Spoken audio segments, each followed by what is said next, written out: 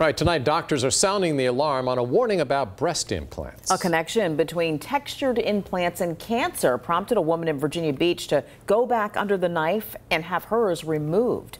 13 News Now reporter Ali Weatherton shares her story and digs deeper into the FDA's warning.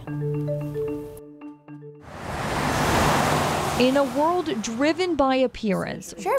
women want to look and feel their best. The profile they give me, just, you know, the fact that I can, you know, fill out a top. Four years ago, Abigail Melton decided she wanted a breast augmentation. She decided to go with textured implants. When they were first presented to me at my pre op appointment, uh, they had a very low risk rate of capsular contraction, which is hardening of the uh, tissues in the healing process. But recently, shocking research from the FDA says those textured implants have a small risk of developing a cancer known as BIA ALCL. It's slow moving and it's curable, but only if the implants are removed. What was your first reaction? I said, Oh, okay. One more thing to worry about. That one thing, too much to handle for Abigail. And nothing to eat or drink after midnight? She decided to go back under the knife and take the implants out. We're going to just sign it again today saying, yes, that's what we're doing. The FDA says the exact number of cases of BIA ALCL remains difficult to determine because of limitations in the reporting of breast implant sales data.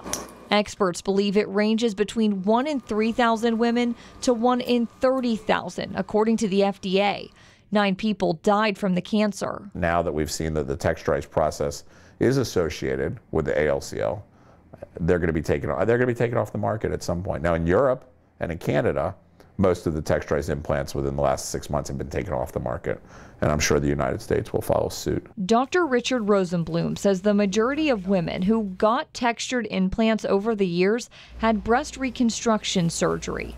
He hasn't performed a textured implant surgery since 2016. The numbers were there, and even though they were small, it was one in 30,000 women could develop this BIA ALCL it was one that we didn't want to be a part of. While the risk is small for developing the cancer, Dr. Rosenblum says there's still a chance. Women with textured implants should see their doctor right away if they have breast pain, a misshaped implant, or notice a mass. I always say if it's one in 30,000, if you're the one, it's 100% for you. As for Abigail, she's glad she doesn't have to worry about a cancer risk because of her implants. You know, just given maybe 10 more years' time, I could potentially develop or show signs for having this ALCL cancer.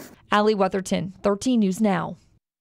Right now, the FDA is not banning textured breast implants because it says there isn't enough evidence to warrant a ban, but dozens of other countries already have cracked down.